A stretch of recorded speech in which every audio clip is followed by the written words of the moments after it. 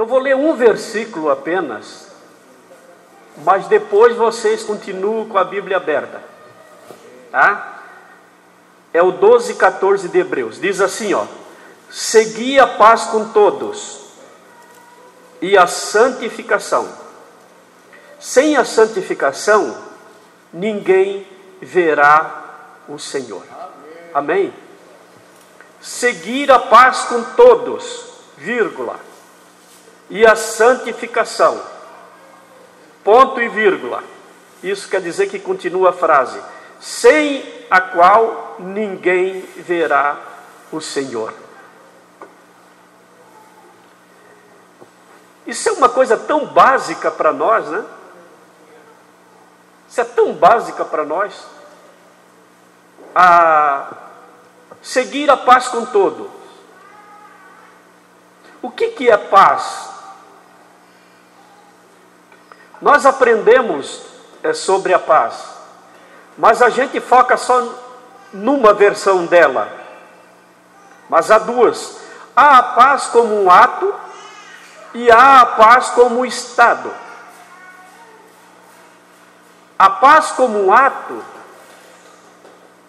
é aquela paz que, se estiver em conflito numa família, numa pessoa, numa nação, e aí entra o conselheiro, entra aquele que pode apaziguar, e aí então vem a paz. Essa é a paz como um ato. Mas a paz como estado, ela é uma paz que se dá dentro de nós. É uma paz diferente, é uma paz que perdura. É uma paz que independe do que está fora, dos conflitos que estão fora. Uh, o Senhor Jesus, ele fez a diferença muito, muito clara para nós em São João, quando ele disse para os seus discípulos: Eu vos dou, eu dou a minha paz, a minha paz eu vos dou. E ela não é como a do mundo. Não é como a do mundo. Por quê? Porque a paz do mundo é a paz como um ato. Está né? Tá em conflito e de repente o conflito cessou, chegaram a um acordo, agora tem paz. Essa é um ato de paz. Mas a paz como Estado é algo que só Deus pode dar. E o apóstolo São Paulo pega isso de uma maneira muito reveladora de Deus, lá na carta aos Efésios, e ele diz com muita clareza que a paz, essa paz, é fruto do Espírito. Porque o fruto do Espírito é amor, gozo e paz. Esta paz nós não conseguimos em outro lugar. Nós não conseguimos em outra instância, a não ser dada pelo Espírito de Deus a nós. Esta é a paz que está dentro de cada um. E o, o, apóstolo aqui, ele diz, o escritor diz que nós devemos seguir a paz com todos. E a gente só pode ter paz com os de fora se a gente tem dentro de nós. Senão, fica apenas pela convenção. Eu não digo isso para ti porque eu sou pastor, viu? Porque se eu não fosse pastor, tu ia ver o que ah, tá bom, escapei porque camarada é pastor, mas vontade de bater ele tem, vontade de brigar ele tem. Olha, eu não faço isso contigo,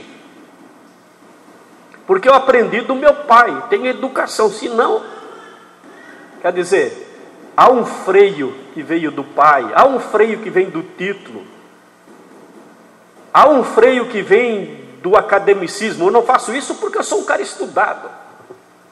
Olha, eu só não te digo mais porque aí eu perco o meu emprego. É, e aí então fica um clima de paz. Não brigou, não foi para a via de, de fatos.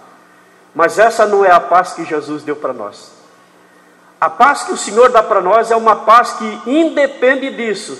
Você é provocado, mas você não cede à provocação. Você é tentado, mas você não cede à tentação. É esta dimensão de paz que o mundo não conhece, mas que nós conhecemos, irmãos. Mas às vezes não seguimos. Às vezes a gente vai para a briga. Segui a paz com todos, e ele diz, e a santificação. Bem, a santificação, quando nós olhamos a palavra santificação, o que, que é a palavra? Eu trabalho com comunicação e eu fiquei espantado quando eu descobri que a palavra, as palavras, elas são apenas símbolos, são que apontam para um, algum ser, alguma coisa, um estado, uma realização. Então, quando você fala de santificação, a palavra santificação, qual é a definição que tem esta palavra? É um movimento. A palavra santificação é um movimento. É um movimento que acontece dentro de nós para levar o estado, o estado de santidade. Santidade é o estado, e santificação é um movimento. É um movimento que se dá dentro de nós, no nosso coração. E como é que esse movimento se dá? Ele se dá pelo Pai, pelo Filho pelo Espírito Santo, pelo sangue de nosso Senhor e Salvador Jesus Cristo, pelo sacrifício dele e pela Sua palavra. São instrumentos usados pelo Pai, pelo Filho e pelo Espírito Santo para nos santificar. E não tem outro meio. Essa santificação, esse movimento de santificação, interno. Não tem outro lugar, não tem outro instrumento, não tem um outro meio. É através de Deus. Que vai nos levar para o estado, aí é o estado de santidade, estado de graça. Agora, o difícil, irmãos, é que nós aprendemos que santificação é para fora, é fora, é a aparência é o estereotipado. E não é, é interno, é dentro.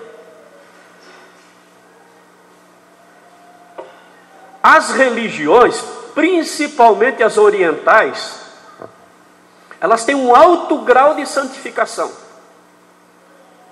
O judaísmo mesmo é, se você pegar o Antigo Testamento, só que é para fora. Para fora. Tem ritual, tem simbolismo. É, quase todas as religiões é, oriental e também ocidental eles tinham o batismo, que era o símbolo de, de limpeza, de purificação, estado de santidade.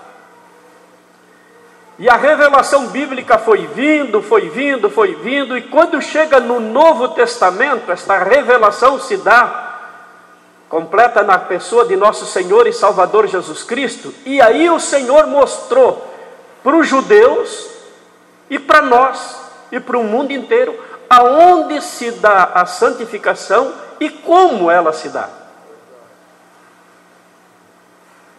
Aí ele mostrou. E foi a briga dele o tempo todo com os fariseus, com os saduceus, com os herodianos, com a liderança de Israel e com o povo também. Porque eles haviam aprendido uma santificação externa. E aí ele pega isso com uma força que divina e mostra para eles aonde eles estavam doentes, aonde eles estavam comprometidos, aonde eles estavam, perdendo a luta para o próprio inimigo, no seu interior. Né? Não é por acaso que quando ele fala aquela parábola, né? que vocês coam um mosquito e engolem um camelo. Está falando disso. Ó, oh, vocês são igual sepultura pintada de cal por fora, toda bonitinha, toda limpinha, mas lá dentro tem ossos de defuntos. defuntos. Vocês são igual. Vocês são iguais. E eles ficavam bravos com o Senhor Jesus. Agora veja bem o que ele diz aqui: segui a paz com todos e a santificação, sem a qual ninguém verá o Senhor. Ninguém. E quando Deus diz ninguém, é ninguém.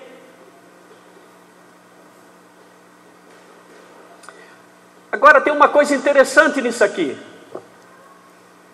que nós não falamos, e nós não falamos por uma razão. Tem uma palavra aqui que define isso.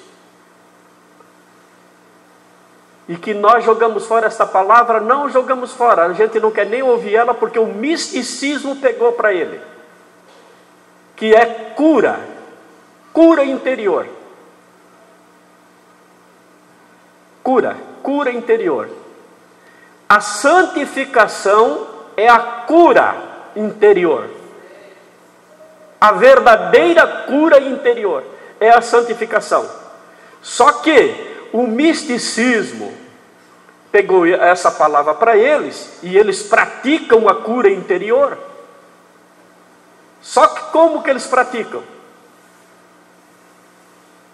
Como é que é praticado isso? A cura interior é praticado na base do, de técnicas, técnicas humanas.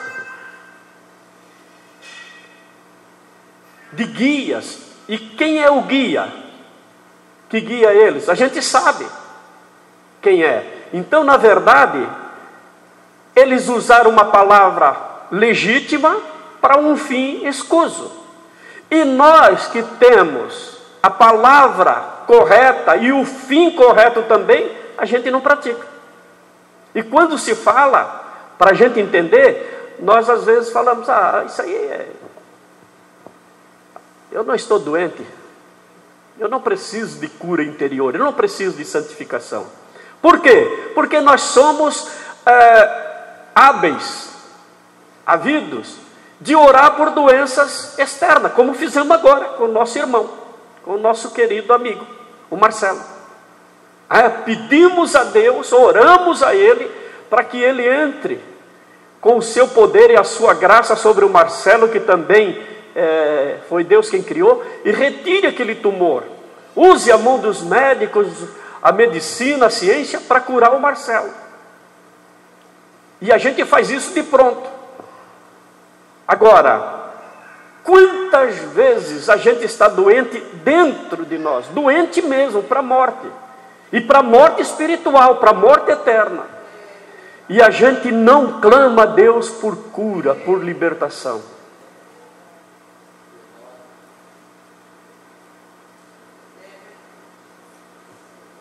Quantas pessoas saudáveis,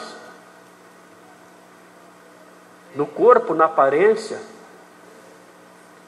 mas estão doentes por dentro, estão morrendo. Por quê? Porque a gente não aprende. A gente, o aprendizado é difícil, irmãos. É difícil. A gente pegar as palavras. O que, que é cura? O que, que é curar? O que, que é uma pessoa doente? O que, que é a doença? A doença é um, é um movimento também que está levando para um estado que é a morte. Quando a pessoa está doente, a doença está trabalhando, ela é um movimento para levar um estado que é a morte. A morte é um estado.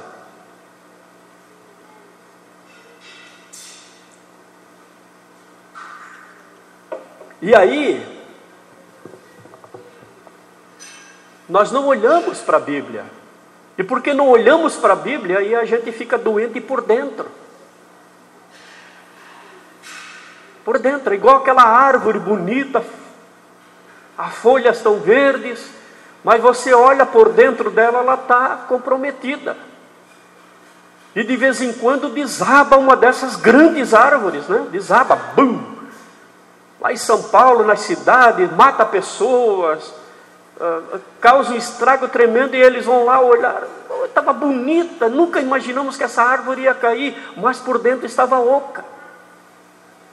De vez em quando desaba gente grande também, irmãos, pastores grandes, líderes grandes, e pequenos também, porque cai a, a árvore grande, mas também cai a pequena. Só que quando a pequena cai, forma um estragozinho ali, né? Na família, nos vizinhos, nos parentes. Agora, quando cai uma árvore grande dessa, estraga um monte de coisa.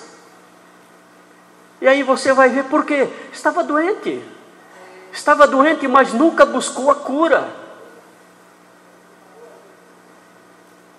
Quantos de nós, irmãos, quantos de nós já adoecemos interiormente na alma, no espírito, e clamamos a Deus e o Senhor deu a vitória. Porque é Ele que dá a vitória. Agora, uma outra coisa importante aqui, queridos irmãos e irmãs, é que a santificação, este movimento que vem de Deus dentro de nós, não é um movimento somente de Deus e para Deus e por Deus, não. É uma cooperação entre Deus e eu, Deus e você, Deus e o ser humano. Enquanto que a salvação é uma ação divina, unicamente, exclusivamente divina, conforme o apóstolo Paulo diz para nós lá em Efésios, ele diz que a gente estava morto, vocês estavam mortos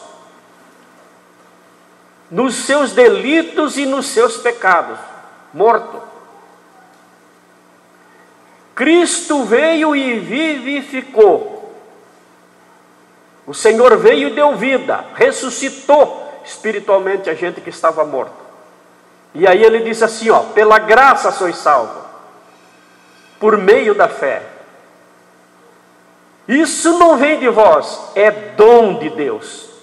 E não veio de vocês para se gloriar. Quer dizer, a salvação é um ato que começa em Deus e termina em Deus. É dom, favor imerecido. A gente estava morto. Então a gente só tem que agradecer a Deus. Agora, quando o defunto foi ressuscitado, quando ele recebe a salvação e se levanta, levanta-te e anda, agora começa o processo de santificação. Arrancar aqueles tocos que estão lá dentro de nós, que veio pela criação. Como disse o apóstolo Pedro, não foi com ouro e nem com prata que vocês foram comprados, resgatados da vossa vã maneira de viver. Olha só, vã maneira de viver que por tradição recebeste dos vossos pais. Mas com que foi, irmão Pedro, que nós fomos comprados? Com o precioso sangue de nosso Senhor e Salvador Jesus Cristo. Então preste bem atenção, nós fomos salvos, libertos, e agora o Senhor quer arrancar aqueles tocos de dentro de nós, aquelas cepas, os maus hábitos, os maus costumes, aquelas coisas que enfermam o ser humano por dentro. Agora, neste processo, Deus me convida a participar. Aliás, Ele não me convida, Ele me ordena a participar. É, porque aqui é bem claro seguir a paz com todos e a santificação. Sem a santificação, ninguém, ninguém verá o Senhor.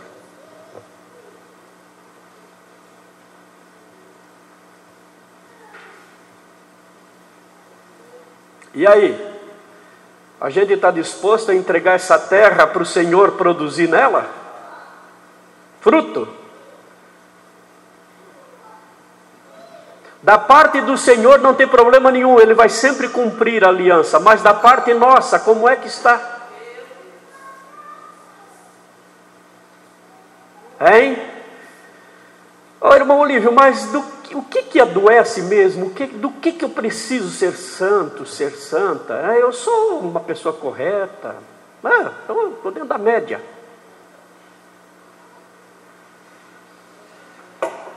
Olha o que ele diz no versículo seguinte.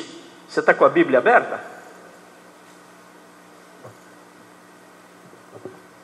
Seguir a paz com todos e a santificação.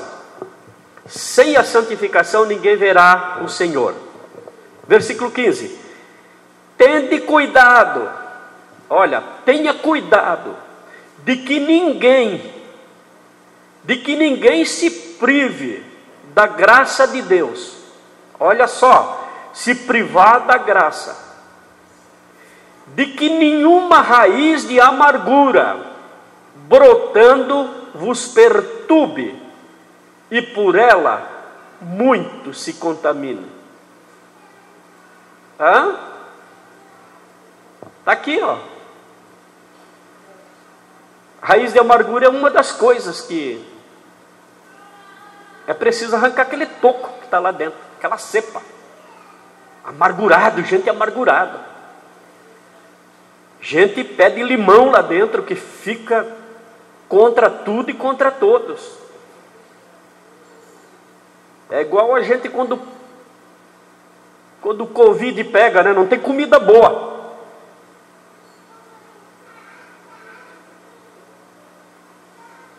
Tende cuidado, diz o, diz o Senhor, diz o Espírito Santo para nós, tende cuidado de que ninguém se prive da graça de Deus. Dá uma olhada, meu irmão, dá uma olhada, minha irmã. Se você não está privado dessa graça, a gente quer ir para o céu, a gente quer ver a face do Senhor. A gente está aqui num culto de terça-feira para aprender. Nós queremos ser uma igreja avivada. Queremos o avivamento. E o avivamento começa por nós, pelo interior nós. A conscientização de quem eu sou. Então, tende cuidado de que ninguém se prive da graça de Deus. E de que nenhuma raiz de amargura brotando vos perturbe, e por ela muitos se contaminem. Um pai amargurado, irmãos, contamina a família. Um pastor amargurado contamina a igreja. Um patrão amargurado contamina a empresa. Um líder amargurado, ele contamina a liderança. Não tem como. E você pega de longe quando a pessoa está amargurada.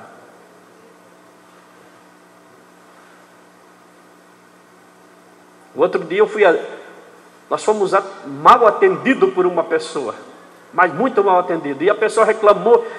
Eu falei assim: deixa, ela não é com a gente, não é com a gente, mas ah, como atendeu a gente? Não, não, nós fomos mais uma de suas vítimas, mas na verdade a vítima é ela. Ela está amargurada. Ninguém sabe o que está passando no coração dessa pessoa. Ninguém sabe.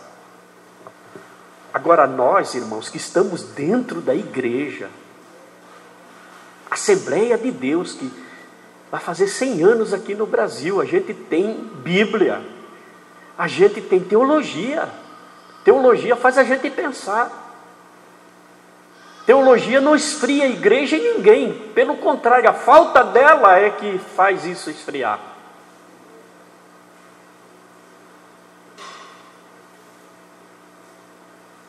Ah, meus queridos irmãos, minhas queridas irmãs, quando nós chegarmos lá no céu e nós vamos chegar pela graça,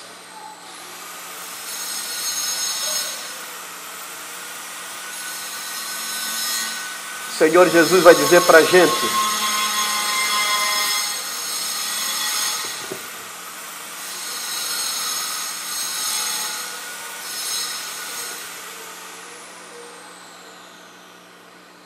Senhor Jesus vai dizer para a gente assim. Aliás, ele não vai dizer nada, porque o Senhor não, o Senhor não vai precisar dizer nada para nós. Só o olhar dele já diz tudo.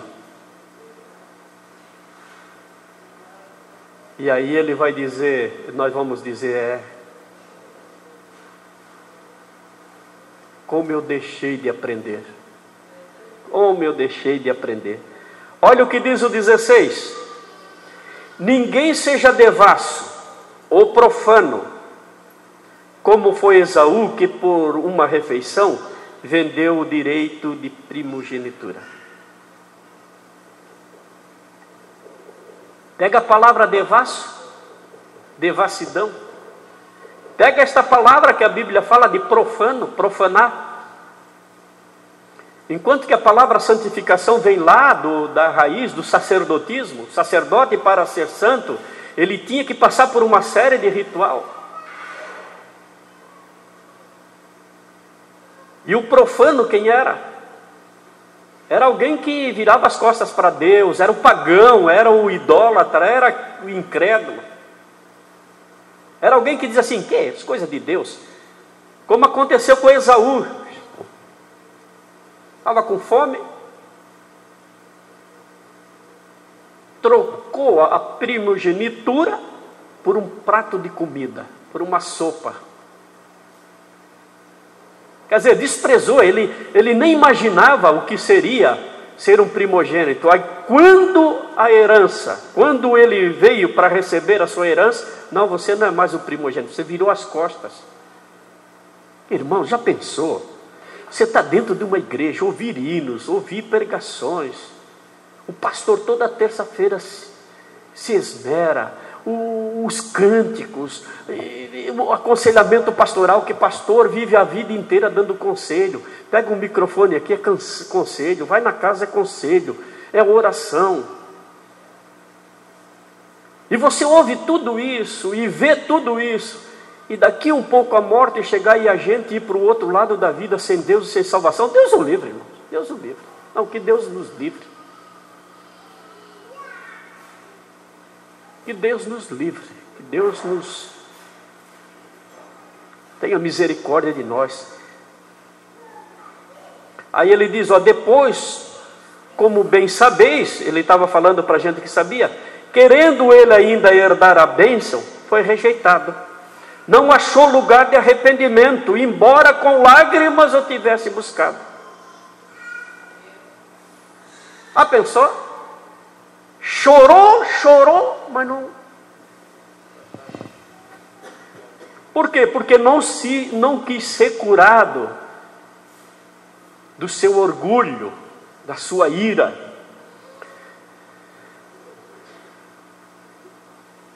Eu, eu já falei aqui, mas vou falar de novo, porque é para nós que a gente está falando, é um culto de ensino. Por volta do terceiro século, o segundo, terceiro século, quarto século da, da, da era cristã, vocês deveriam estudar isso. Deveriam estudar. Quando você pega, por exemplo, um Agostinho de Hipona, com aquele livro, um livro grosso, Confissões, você vê como que era, como os cristãos viviam naquela época. Quando você pega um historiador como esse, você vê como que era. E aí tem um camarada no terceiro século, já virando para o quarto, um, uma pessoa chamada Evagrio, Evagrio do Ponto. Esse camarada era um crente. E foi ele que, orando, buscando, ele sistematizou os sete pecados capitais. A palavra capital é cabeça, aquele que vai na frente, aquele que lidera. E ele escreveu os sete pecados capitais. E ele começa dizendo que isto é a enfermidade do ser humano, isso causa enfermidade. E só tem um jeito de vencer esses sete pecados capitais, que é a santificação. O primeiro é o orgulho. O orgulho adoece a gente, irmãos. Pessoa orgulhosa é uma pessoa doente. Doente. Está doente lá no interior, o físico pode estar muito bem, mas no seu interior é doente, uma pessoa orgulhosa é doente. E o que é o orgulhoso? É aquele que faz um conceito elevado dele mesmo. Eu sou, eu posso, eu faço, não tem ninguém que manda em mim, sou dono do meu nariz. Aquela tipo de pessoa teimosa.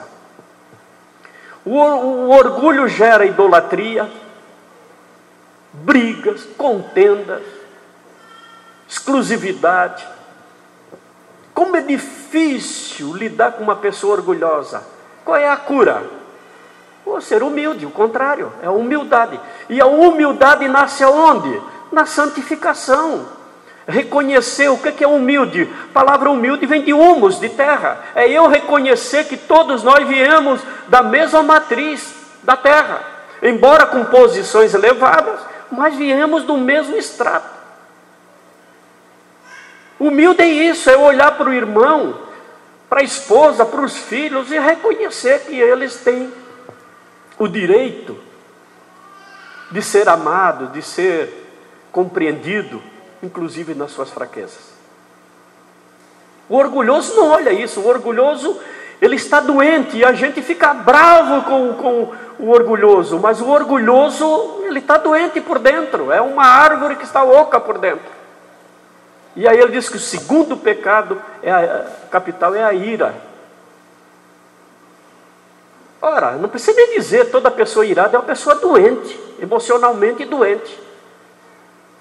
É uma pessoa que não consegue ser provocada. Não é qualquer provocação deixa ela cheia de razão. E, e a provocação, irmãos, do outro só serve para tirar o que está dentro de mim. Eu fui uma pessoa muito irada. E todo irado é orgulhoso. E todo orgulhoso é irado. É dissimulado. É mentiroso. Ou seja, o caráter dele é pequeno. E quando o nosso caráter é pequeno, quando o nosso caráter é menor do que o nosso a nossa santidade, a nossa, a nossa resolução, o que, que acontece? Nós cedemos. Nós cedemos. Quem nunca ouviu falar da palavra curiosidade? O que, que é um curioso? Curioso é aquele que ele quer descobrir as coisas, mas não é para louvar a Deus é por pura satisfação. Então, o curioso, ele é o camarada que se mete nas maiores enrascadas. Ô meu querido, obrigado. Obrigado.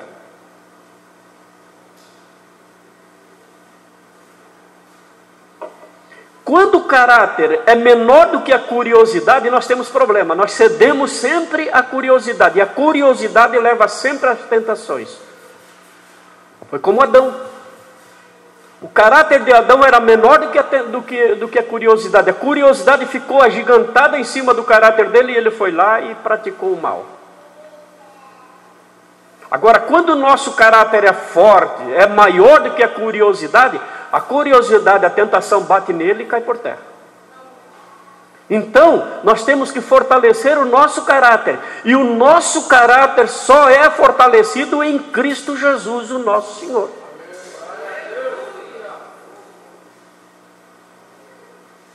É reconhecer, é reconhecer as tentações, e aí ele, ele fala do, do outro pecado que é a cobiça. Terceiro pecado capital é a cobiça. É o desejo de ter sem precisar. A cobiça. Ora, meu irmão, ora, minha irmã, tudo vai ficar nesse mundo, tudo. Tudo. Eclesiastes diz que tudo vai ficar na terra, tudo que é terreno na terra vai ficar. E aí Paulo diz que existe dois corpos, um terreno e um celestial. E aí provérbio diz que tudo que é da terra na terra ficará, inclusive o corpo terreno vai ficar. Nós vamos sair daqui com a alma e o espírito. Se for redimido, se estiverem redimidos, se não estiver, nem na terra fica, vai para baixo da terra. Então, qual é a nossa, a nossa caminhada de fé aqui? Qual é o nosso propósito dessa caminhada de fé? Se não é encontrar Deus, irmãos, então o que é que nós estamos fazendo aqui? E se estamos fazendo aqui, queremos encontrar Deus, é necessário olhar para a Sua palavra, que diz: segui a paz com todos e a santificação, sem a qual vocês não me verão.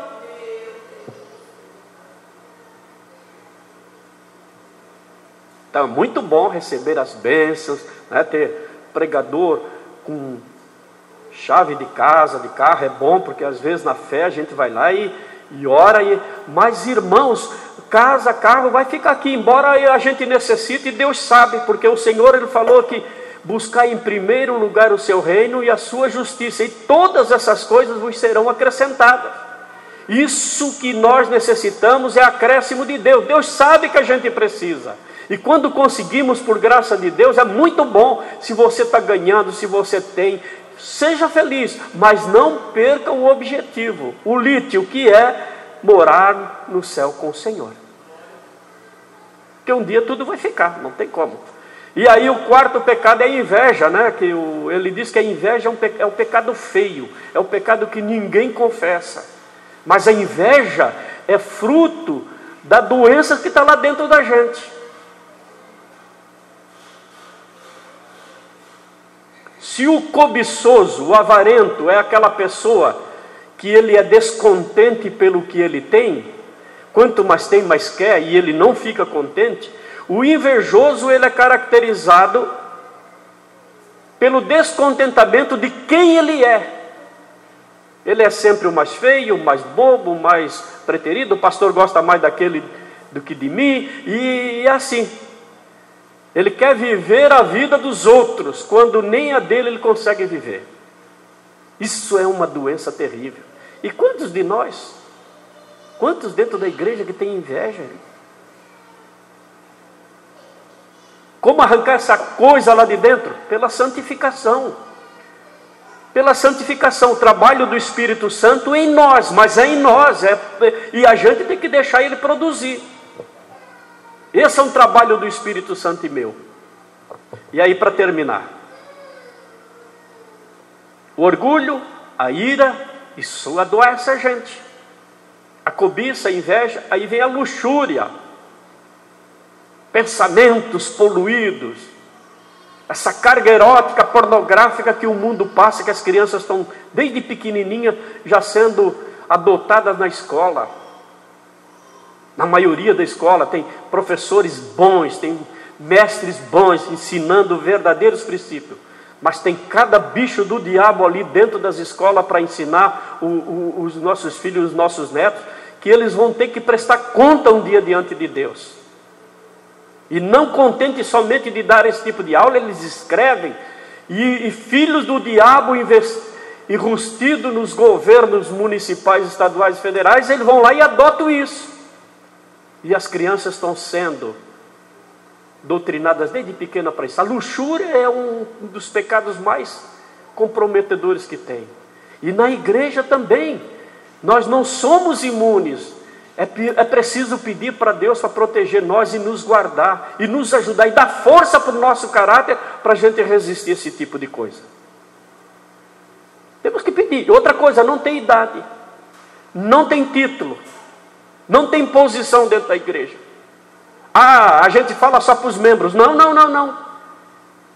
Tem gente grande e comprometido também com isso. Porque a tentação não vai lá bater na porta só do, do pequeno vai bater na porta do grande também. E não é o título que vai me resguardar e nem a minha posição. O que vai me resguardar é a graça que eu tenho de Deus sobre a minha vida para dizer não.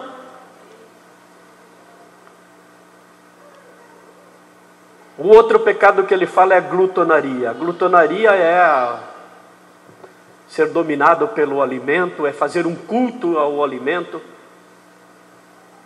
quando na verdade Deus, Ele jamais queria que alguém fosse doente pela comida, e tem um monte de gente adoecendo pela comida, não só pela quantidade, mas também pela má qualidade da comida. Então a glutonaria, a, a, o desprezo pelo corpo, que a gente acha que esse corpo não vale nada, mas quando ele adoece a gente corre para o médico.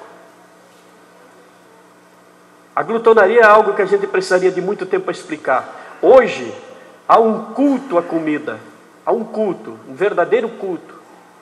E não é por acaso que no paganismo eles usavam realmente comida nos cultos, cultos com comida. E o último pecado que o Evagro diz que adoece a gente é a preguiça. A preguiça. E aí a gente olha e até ri, porque o, o, preguiçoso ele é definido como aquele que não é muito dado ao trabalho, né? aquele indivíduo que, que não consegue é, trabalhar, tal. É, é, até, é até hilárico, né? Se você pegar um dicionário nosso e dar uma olhada no preguiçoso, na preguiça, a definição. Só que tem uma coisa, teologicamente, biblicamente, é grave, porque o preguiçoso não é somente alguém que é indisposto para o trabalho, mas é indisposto para buscar a Deus, para a santificação. Para isso, para se entregar a Deus, para arrancar esses tocos dentro da gente, que às vezes é, é há muito desses tocos que somente ao dia que nós formos com Jesus mesmo. Teimosia, azedo. Não é por acaso que às vezes as pessoas lá, vão lá para o hospital. a gente tem um amigo que trabalha no hospital há muito tempo, Zeca José Caldeira, todo mundo que conhece, e o Zeca conta de uma irmã que foi para o hospital e estava sofrendo, sofrendo, e ele foi lá visitar essa irmã, porque ele é, é técnico de. Ele teve que fazer um procedimento, e aí a irmã, ele começou a falar com a irmã, a irmã pediu para ele orar, ele, quando ele foi orar, o Espírito Santo falou para ele, e disse: Ela não vai sair daqui, não, só que ela precisa se acertar, ela precisa pedir perdão. E aí ele disse: Ó, irmã, eu vou entregar o que Deus me mandou, a senhora precisa a senhora não vai sair daqui. Jesus disse que a senhora vai recolher a senhora, mas a senhora está dando uma chance para a senhora, para a senhora é, se perdoar. Essa irmã começou a chorar, a chorar. O Zeca disse que no outro dia fez fila no quarto dela. Filha, filho, genro e tal, ei, vizinho, parente. E aí cada um ela pedia perdão, ela pedia perdão, ela pedia perdão, chorando, chorando. Quando limpou ela toda, o Senhor pegou e recolheu e levou ela para o céu. Isso é misericórdia, irmãos. Isso é misericórdia. Mas será que para todos? Por que, que o Senhor deu a chance para essa mulher? E alguns morreram nos seus pecados? Eu não sei. Eu não sei porquê. Mas Deus olhou para o coração daquela mulher e resolveu dar para ela uma chance lá no quarto.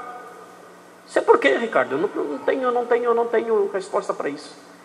E para outros, Deus não dá.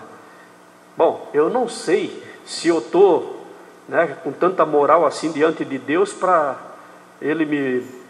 Né, nós não sabemos. Então, se a gente não sabe, irmãos, é bom se acertar agora. Vamos ficar em pé? Segui a paz com todos e a santificação, sem a qual ninguém verá o Senhor. Ninguém, ninguém verá o Senhor. Eu penso que isso é muito, é, é de muita responsabilidade. Eu quero ver o Senhor. Quantos querem ver a face daquele que salvou? Todos nós, irmãos, todos nós. Mas para ver a face dele, a gente tem que se entregar a ele. o Adão se escondeu, o Adão cometeu pecado. E ele fez exatamente o contrário. Ao invés de ir para Deus e confessar, ele se escondeu.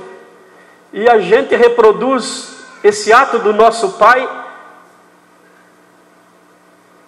Parece, parece até que somos filhos, né? A gente peca e aí fica mentindo, fica se escondendo, fica. Não queremos ir na presença do Senhor e dizer assim: Senhor, eu estou doente. A minha alma está doente, Senhor. Meu espírito está doente. Me cura, por favor, me ajuda. Arranca esse toco. E aí o Espírito Santo vai dizer assim: ó, faz jejum, faz propósito. Faz. Faz propósito. Irmãos, eu sou casado há 41 anos, vai para 42 anos. E a Ana viaja por aí comigo né? Chegamos ontem e eu estou indo essa madrugada novamente para o Oeste Santa Catarina, que agora começa a se abrir. Esse ano eu já fui quatro vezes para o Oeste Santa Catarina, estou indo a quinta vez amanhã. E ela, na maioria das vezes, vai comigo, Ana. E, e ouve eu pregar, ouve eu ensinar. E um dia ela, um outro dia ela chegou para mim, ela falou assim, Olívio, vamos fazer um propósito. É? É, fazer um propósito. Tu pregou essa noite, sabe que Deus falou comigo também. Eu vou fazer um propósito.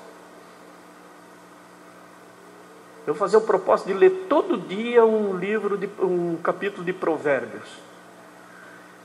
E pedir para o Senhor que Ele me dê graça, paciência, que Ele me ajude. Eu oro, mas eu vou fazer esse propósito. E começou a fazer esse propósito. E ela diz assim: Olivia, que coisa maravilhosa. Que coisa maravilhosa. A gente pensa que isso não funciona. Eu disse: Funciona assim, minha, minha companheira, funciona assim. Funciona. E é interessante, eu fico olhando, né? Eu prego para tanta gente, profetizo para tanta gente, e a mulher andando com a gente, vivendo com a gente 40 e poucos anos. É. Faz o propósito também. Faz o propósito. Porque não é, irmãos, às vezes está muito bem, nós vivemos muito bem, a família nossa está bem, está tudo bem. Como disse uma, pessoa para mim: meus filhos não bebem, não fumam, estão na igreja servindo a Deus, estão com saúde, tem aonde morar, tem tudo, mas nós não sabemos o dia de amanhã. Foi o que eu falei para ela, Cheiro, nós não sabemos o dia de amanhã. Porque nós temos netos, a gente não sabe. Eu não falo do filho de ninguém, irmãos. Eu, eu não, não conto piadinha do filho de ninguém. Tem muita gente fazendo gracinha, porque a gente não sabe, ah, o meu filho tão criado. E os netos que estão vindo aí?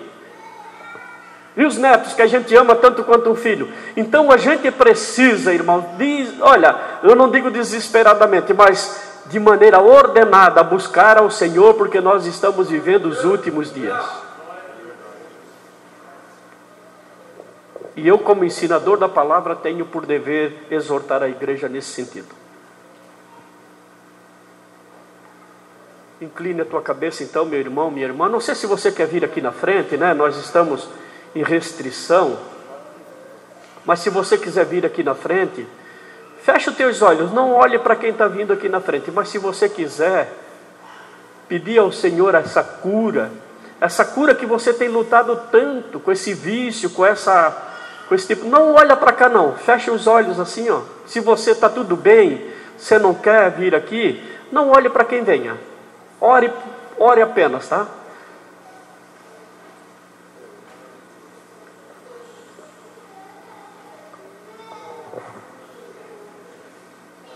Querido Pai, o Senhor conhece cada um de nós, cada um de nós o Senhor conhece, o Senhor sabe o que está lá dentro de nós, e o Senhor sabe como arrancar esse cepo de dentro de nós, Senhor. E a Sua palavra é muito clara para nós nessa noite, Senhor. Seguir a paz com todos. E a santificação, senão a gente não vai ver o Senhor. E nós queremos ver o Senhor. E o Senhor que está vendo nós todo dia tem prazer de nos abençoar. Ó oh, Pai, ajuda cada um de nós. Me ajuda, Senhor. Me ajuda, eu te peço sempre, me ajuda. Me ajuda a ser um ser humano melhor, ser um ser humano mais abençoado. Ajuda os meus companheiros, ajuda o pastor dessa igreja, ajuda, Senhor, cada um de nós. Nos dê consciência, consciência, autodomínio. Faz aumentar o nosso caráter, Pai.